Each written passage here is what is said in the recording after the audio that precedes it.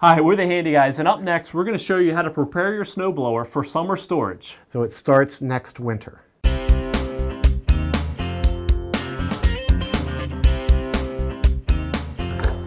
right, Brian, so here we are. We're out here in the garage with my snowblower, and for some reason, I left the tank full. I thought there was going to be another big storm. There Right. wasn't. So we have fuel in here, and I know we don't want to leave this in here all Right. summer long. Ethanol can be a huge problem uh, in engines like this or smaller engines, and you want to make sure you properly prepare this for summer storage or you know mowers for winter storage. It's the same kind of thing. So we want to get the fuel out of the carburetor, and there's three different ways we can do that.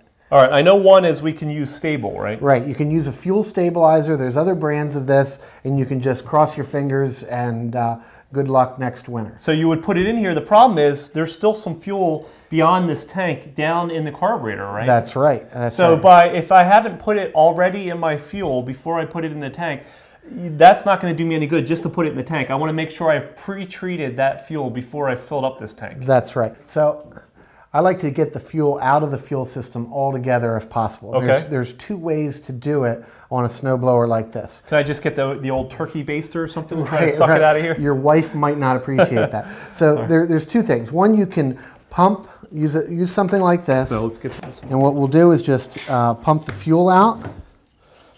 Hopefully this all stays together and we don't spill too much. Yep, it's going. And then once I get as much fuel as possible out of the tank, then we'll start it up and let it run dry. Okay. Run it till it stalls. So, all right, so we've talked about we have using stabilizer before you put it into the tank. Now you can pump it out, get rid of the fuel. What's the third option? The third option is kind of an in-between option. You're always going to use fuel stabilizer uh, with this, but what you can do is if you have a little bit of gas in there, uh, you can um, start the snowblower up and then turn the fuel supply off while it's running and let it stall. So you turn it on, get the engine going, and then shut it off. Shut off the fuel supply. It'll run for another minute or two. Right. and then it will stall. So then you only have fuel in the tank and a little bit in the fuel line, but no fuel in the carburetor where it does the most damage. And obviously, you want to make sure your garage door is open. You don't want to have fumes in your course, garage. Take it outside and let it run. All right, so there you go, Brian. It's pretty simple. We let it run. It took about, once we shut off the fuel line, it just took about um, two minutes and uh, it burned off all the fuel left in the carburetor. There you go. But I have heard that you don't want to let this thing run forever because it's not designed to cool the engine in, if it's already warm in your area. So if Right, it's already right. you know 60 degrees, you've waited too long, you're in spring. You don't want to just let this thing burn all the fuel and let it run for an hour or half an hour or something like that right. because it's not designed to cool in those kind of so one or two minutes, you're going to be fine.